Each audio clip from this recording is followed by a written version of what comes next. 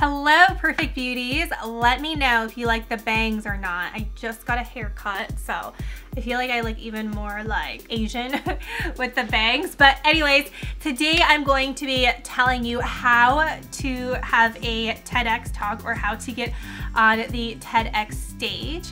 And you guys know that I recently did a talk called a tragedy called perfection. And this has been like my lifelong goal of being on that red circle being in front of everyone and telling my story in under 18 minutes. Behind the scenes there was a ton of work and i'm going to share with you what i did in order to get my uh, tedx talk and hopefully um, i can inspire you to do yours as well.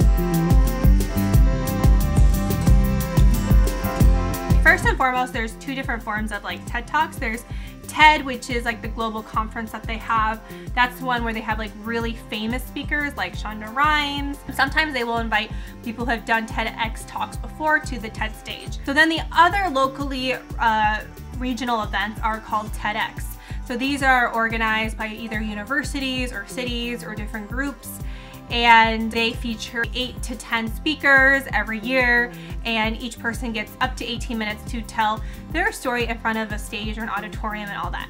So I applied for TEDx and I wanted to do a TEDx talk mainly because I wanted to tell my story. And I feel like my story is so fundamental to who I am, to what Banish is about. And I felt like I had such a strong message to share in which you can check out my talk in the description below. So the first part of applying for the TEDx Talks is I really needed to figure out what my core idea was and I had basically like I would start journaling because I'm somebody who's super ADD, I'm super chaotic and I had so many ideas but these ideas would just like be so mumble jumbled. I would start writing about having acne, right? Which which is kind of um, part of my story. But then I'd write about being Asian American, which is also part of my story. And then I'd start writing about being a first generation immigrant and then growing up poor and then even, you know, living off food stamps in the beginning of my childhood days and, um, you know, all the struggles that I went through throughout my life. And before I knew it, it was like literally a hundred page Word document just of notes, of ramblings, of thoughts. And I was like, oh my God, this is a hundred pages. There's no way I can submit this to the TED community and have them pick me. I first had to do was figure out what my core idea was and what I decided to stand for. And so your core idea has to be something that it's not about your story, it's about what does your idea mean to other people. So for example, Brene's Brown core idea is the power of vulnerability. Cameron Russell's core idea is looks, look, was it looks don't matter, believe me, I'm a model. Simon Sinek is it's not what you do, it's why you do it. So you have to kind of figure out what that thing was. And so throughout writing my story, and I decided to really focus it on acne because I feel like having acne and starting this company has really shaped me who I am. I kind of eliminated any part that wasn't related to the acne story. So I, I eliminated me studying really hard in high school. I eliminated me growing up really poor, eliminated me being the only Asian American in my school. Like I had to eliminate so much from that. I had to just figure out like, hey, I wanna just talk about the acne part. From there, from that story of the acne, I had to figure out like, what is the underlying theme and what is like the overall conclusion from this talk? What do I want people to take away from it? And I soon realized that what I want people to take away from it is that the worst thing you can do is try to be perfect because in my struggle with being perfect, it prevented me from being my most authentic self. And once I started making the videos on YouTube and sharing my story and having the courage to share the way I like share my skin and my story, that's when everything changed for me and that's when my life really started to change and we should always focus on authenticity, not perfection. So that was kind of like the core idea. So once doing that, I wrote out my talk and again, it was really hard because I have so many ideas. I'm definitely an idea person. So I went from like 100 pages to 50 pages to 20 pages. I think for an 18 minute talk, it came out, I don't remember, like seven pages, six pages?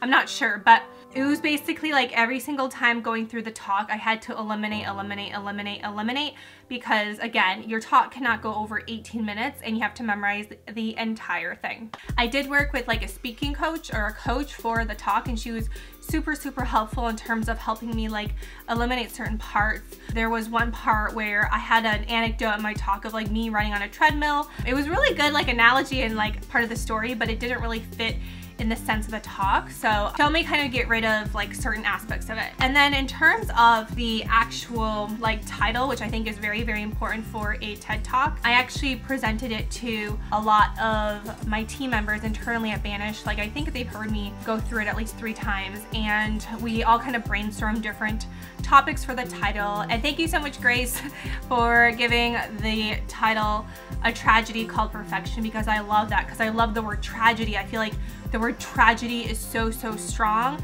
and the word perfection and perfectionism is super, super strong. So I was able to put that in and I love that title. I love, love, love it. Like resonates with me. It resonates with my soul. And I think the title, again, is very, very important because it really means that's your core idea. That's what 18 minutes of your talk is about. So after I had kind of the general core idea, I started applying for a bunch of different TEDx events. And so I had Claire, who is my admin, she kind of helped me search for some of the events that were around and we had a spreadsheet of different applications for TED Talks and the dates and the areas that they were in and all that stuff. So I, I literally applied to like, I don't know how many, like 10, 12. I applied to a lot of different TED Talk organizations. And I think because I, I'm not like a known public speaker, I haven't really done public speaking before other than on my YouTube channel. I didn't have like a portfolio reel. Like I'm not like a motivational speaker. Like that's not my main job. My main job is making YouTube videos and also, you know, being the CEO of Banish. I think it was a little bit harder for me to get my foot in the door.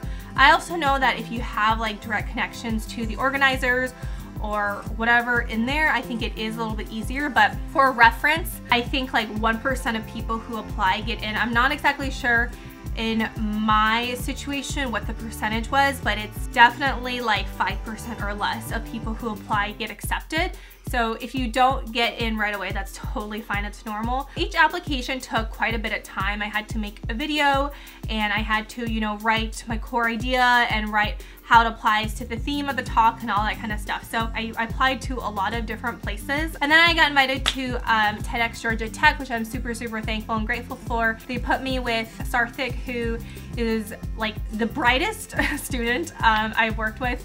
He kind of helped me with my talk and he really challenged me to cut it all down because I was like, no, everything in my life is so important. How can you tell me to cut out this entire paragraph and all this stuff? And I'm super grateful. So they have like people who are there to help coach you and mentor you and help you with your talk and all that kind of stuff. And I'm really, really grateful because the students who organize the event, they are so bright, so smart, like they're just on it, you know, kind of thing. So then came the process of memorizing for my talk.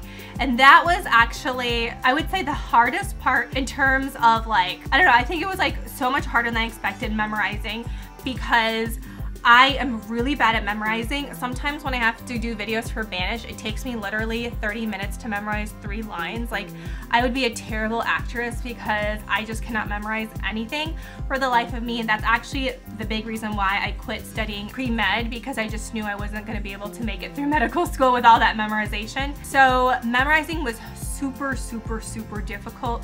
I literally would be around the clock working on it, practicing.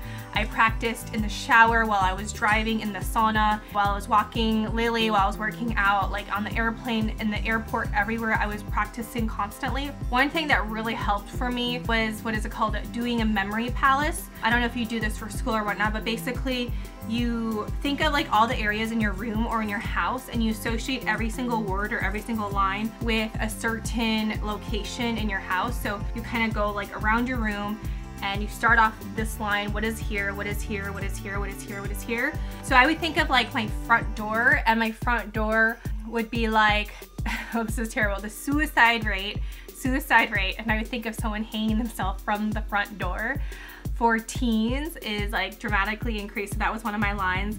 And then another line was like teens like on social media. And so next to my front door, I have a ping pong table. And so over there, like I was thinking of teens playing ping pong and that would be like teens on social media. And then I had something about the teens spend eight hours a day on their screen. So I have my printer, which is across my ping pong table and the printer would be printing out page, like eight pages.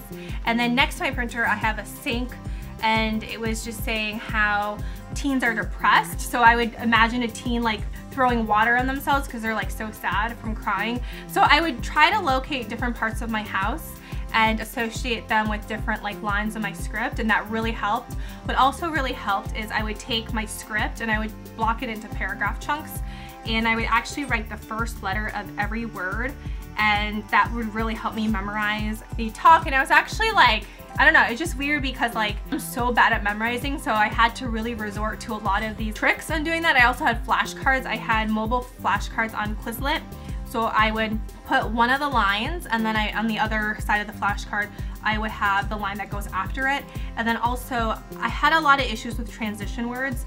So I would forget what the next sentence would be after this word. So I would put the end of the word and then on the other side of the card, I would put the next word after. So once I got into the first couple words of the next sentence, I knew what to say, but it was just that like transition that was really hard for me, and that's always been hard for me in terms of my memorization skills. That was that, and then, um, you know, memorizing, I also worked, you know, again with a coach and she helped me with the stage presence. I also had to figure out what I was gonna wear for my TED Talk, which like I was obsessing over this. Like I bought this like beautiful blue dress from BB and I thought that's what I was gonna wear, but it ended up like even water spilling on it because it was made out of rayon. Rayon would cause a stain. So I actually had a big stain in the front. And I also thought like, I don't know, it was just too wrinkly.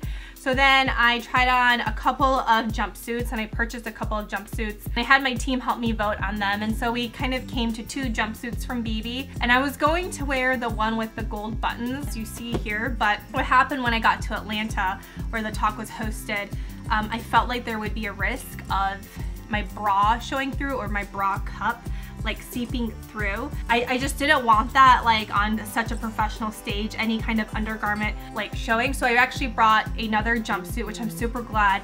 Before I got to Atlanta, I actually had this tailor who spent an inordinate amount of time tailoring the jumpsuit perfectly. He even brought in the waist, the jumpsuit like from BB, like sometimes it's very revealing, right? And so he actually brought in the bust and actually put in a piece of fabric in there. He also made the straps thicker and then he put a hook where you could put my bra in and I just felt a lot more secure in that jumpsuit because I felt like there was no way that my underwear could be showing through there so I decided to go with that jumpsuit and I'm glad I did. I think it's really important when you're on the stage to wear something that just kind of flows not something too bright, not something too patterned. So mine was like a very dark, was it navy or was it a black color? So it kind of looks good against, you know, the stage. So I do like the outfit choice that I made. I'm glad that I went with it. I'm super glad that I spent a lot of money on that tailor because that was the only time I ever wore that jumpsuit. So then like just practicing, I think I literally practiced 200 times a day. I'm not exaggerating. And then the day before I just practice, practice, practice, practice. Now, one thing that kind of tripped me off was the night before we did kind of these rehearsal things and I got a lot of feedback over, oh, you should do this or you should do that or you should do that. But like for me, it gave me anxiety over like the night before the talk to include all of these like changes. It gave me a lot of anxiety because it made me think like is it not good the way it is? Like you know all this stuff. And ironically I'm a perfectionist so I was like do I listen to this person's feedback or do I not I did listen to some of it but I couldn't implement all of it because it was literally the night before and unfortunately the night of my TED talk I literally slept for like half an hour. I had the absolute worst migraine and I don't know if it was from stress or maybe I was in the sauna for too long. I do a lot of saunas for my psoriasis.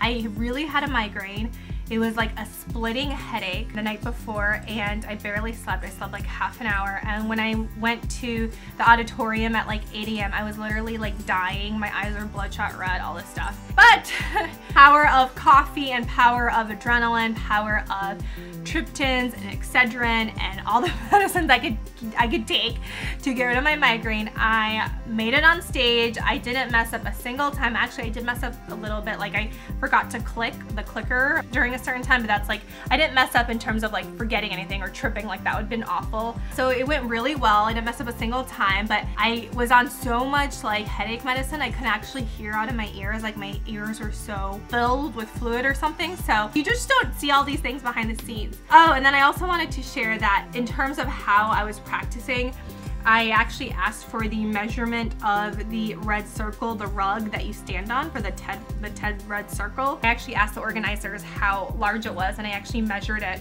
and I actually put like like a circumference string around my room and I would practice walking around the red circle, walking in the stage, out the stage, figuring out what to do with my hands. Like every single word that I would speak on the TED stage, I had a hand motion for that. So everything was very, very well coordinated.